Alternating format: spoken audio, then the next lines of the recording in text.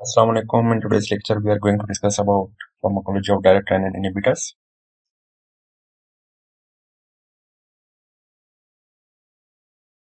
Direct renin inhibitors, these are the class of antihypertensive drugs.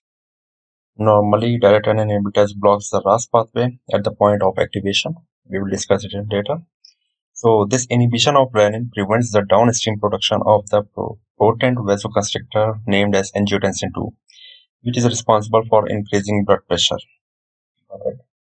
Now let's discuss about normal physiology so you people understand how RAS pathway works.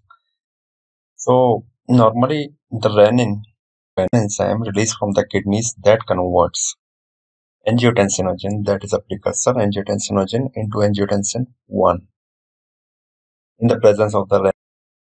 This angiotensin 1 in the presence of angioconverting enzyme is is converted into angiotensin II. Now this angiotensin II has two roles two functions. It causes direct vasoconstrictions and the second is stimulation of aldosterone, aldosterone secretion which leads to sodium and water reabsorption. Now let's discuss if we block this renin, the drug class known as direct renin inhibitors and if we block angiotensin converting enzyme, this class is known as ACE inhibitors. Now let's discuss about renin. How it is released. It is released in response to three different stimuli. The number one is change in sodium and chlorine absorption.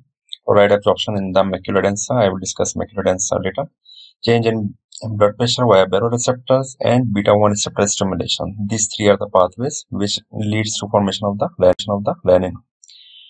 Macula densa, if we discuss about MD cells are the chief cells these are the basically chief cells within the kidneys and playing a key sensory and regulatory function in the maintenance of body fluid, electrolytes, and homeostasis, and ultimately blood pressure. Now let's discuss about mechanism of action of direct renin inhibitors. How direct renin inhibitors work.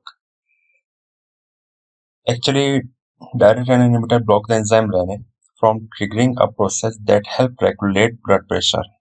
As a result, blood vessels relax and widen, making it easier for blood to flow through the vessels, which lowers blood pressure. The drugs include in this class known as aliskiren. Let's discuss about basic pharmacokinetic.